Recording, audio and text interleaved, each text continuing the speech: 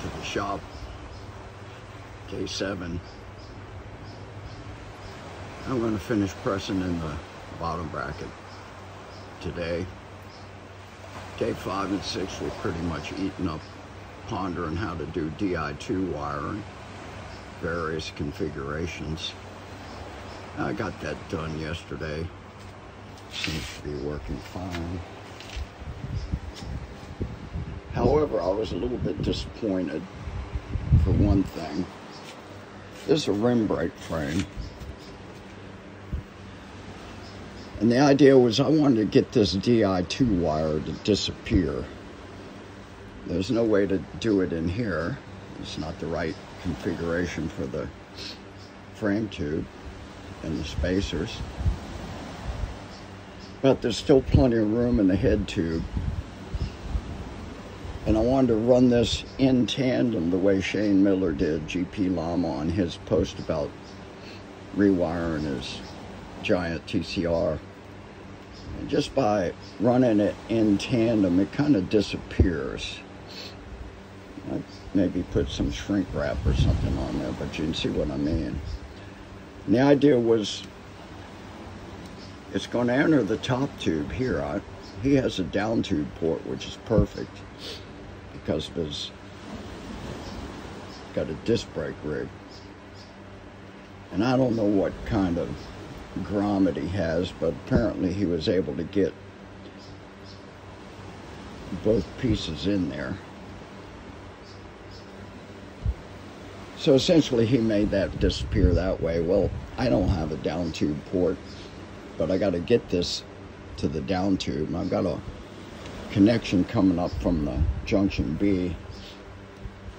I had it flopped out this frame tube port for the DI2 alternate location. And the idea was I'm going to take this, stick it in this port, do a U-turn, drop it down, and then down there. It would have worked perfectly, except this grommet that Yoeleo has is dedicated only for brake cable stop, and it's a stop. So I couldn't get it in there. Now I'm looking around for a different grommet that might have another port on it. I've seen those, but I don't have one. If I find it, I'll rewire it. But what I'm kind of forced to do, the only option that Yoeleo provides is to run this wire into this port. Now, if you put the DI2 junction A here, you still have to figure out how to get a wire from the back of that to the front of the frame. There's no way to do that unless you brought it up here and out here, and then you got the same problem.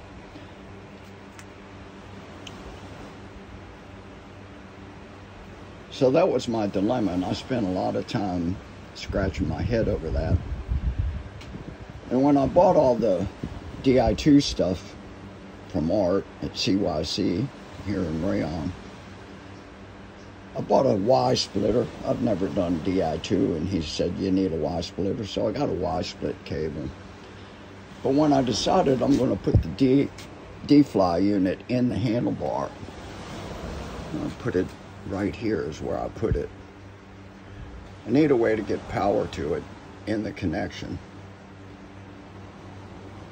I did that by running a dedicated line from the left shifter through the handlebars down into the D-fly.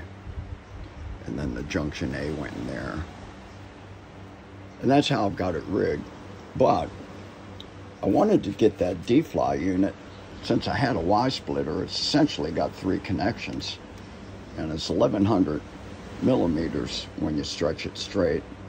So I'm going to use the Y splitter to this shifter to interconnect the two shifters.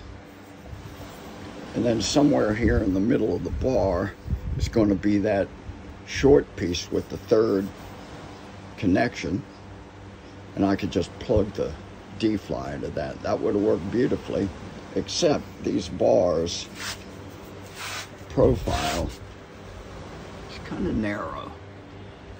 And try as I might, there was no way I could get both the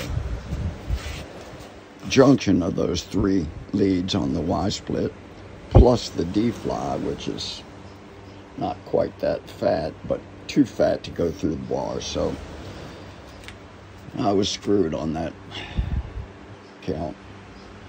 So I just went and bought a 700 wired it, put the D-fly there. It works just fine, no big deal. But I wasn't able to use this Y-split cable the way I wanted to. Anyway, uh, that's not the Y-split. The Y-split is actually being used to interconnect these. I just had to tape off the third connection in there, not use it. So this is what connects the cockpit to junction B. Comes out of my right shifter and then out the same port under the handlebars as the rear brake cable.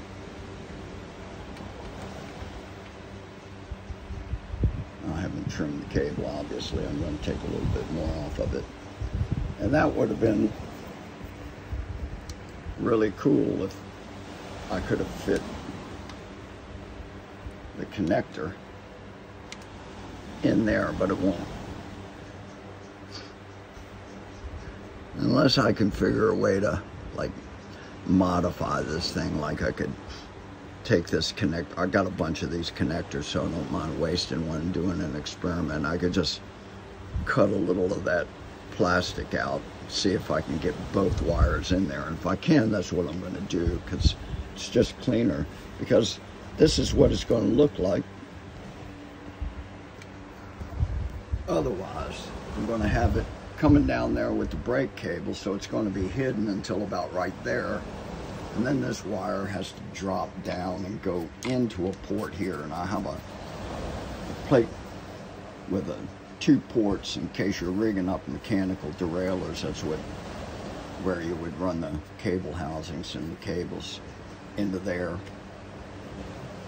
And I can use that to run the wire through, but it's kind of not elegant. It's not the ideal solution. So I'm looking around to see what my options are. Of course, I could take the solid plate cover. They have a plate cover that just is a blank. It blanks it off. I could drill a single entry and run it through there, but mm, it's not much different. Anyway, this is the connection from the cockpit to junction B. I'm also having to find a replacement grommet for this because it wasn't in the pack of frame parts that Yoeleo sent me. I, I may have lost it in my shaky hands when I opened the pack. There's a nice little port there for the wire for the front derailleur. There's another port there. I just put a blank rubber grommet in there. It's okay. I'm liking it. Obviously, I got work to do. Just set this up so I could check the system.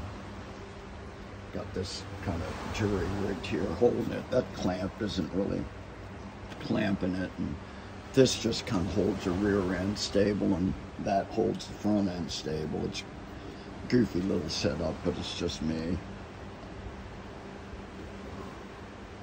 Anyway, by like yesterday evening, I had it working.